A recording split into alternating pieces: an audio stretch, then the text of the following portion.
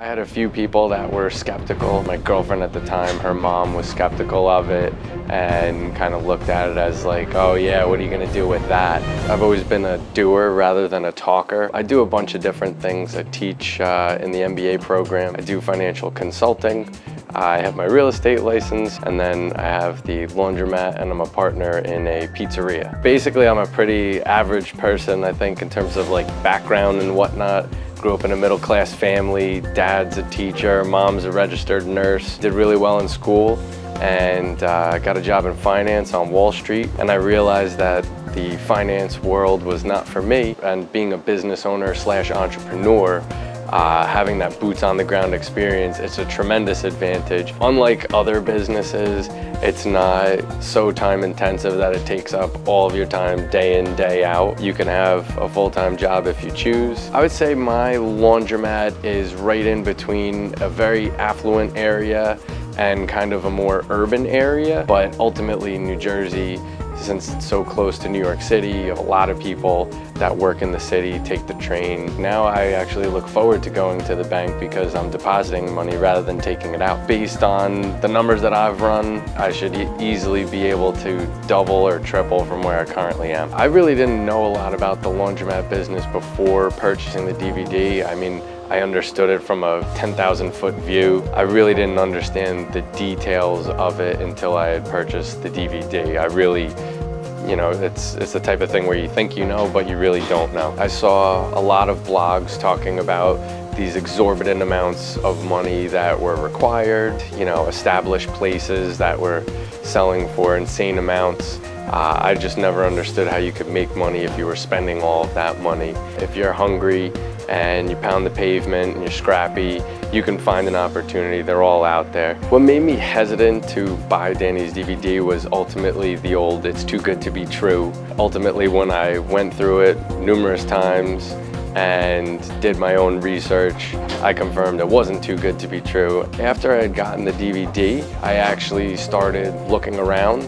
Um, I found a place uh, local from where I grew up and it fell through but I had a really good relationship with the equipment guys and ultimately uh, they found one that was a good fit for me. This three hour DVD, Danny's DVD taught me a tremendous amount because every business is different and there's a lot of specifics that you get from Danny from the DVD that you're not going to get from you know, a finance textbook. I was able to glean a tremendous amount of value from the DVD that I couldn't get just from doing my own research. Danny's different because he's tried and true and he has the actual boots on the ground experience. So he's telling you like it is because he does it, not like someone who's saying, I think it's like this or it should be like this.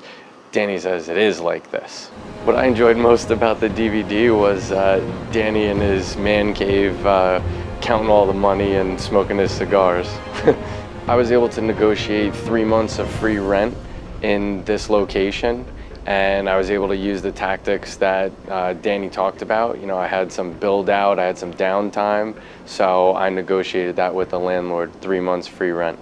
The person who should get into the laundromat business is the person who believes in themselves that they can do it. I mean, the first thing that they should do is buy Danny's DVD and understand the system and how to go about doing it.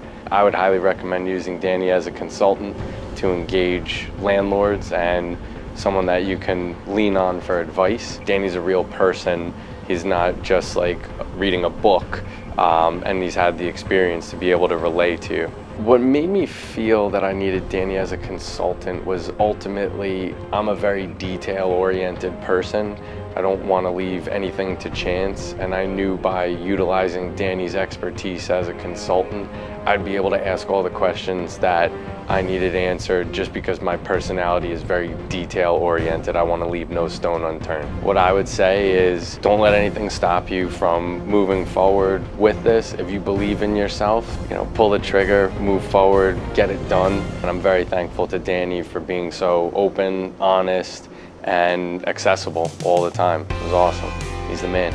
You found me because you're interested in owning laundromats, but I want you to do it right. I'm passionate about this information. I want you to get my information and do it correctly without the pitfalls, without putting your neck in the noose, without making any mistakes. I know people, and these people have done it. Join us, join me, get into this business and do it right.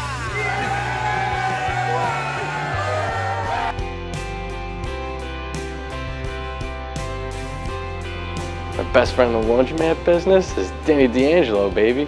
Everyone constantly emails me and asks me, how can you possibly get a laundromat for free? This is the thing. These laundromats are very real and they can make you real money. If I were sitting here and having a fireside chat with you, I would explain to you that this is how you do it.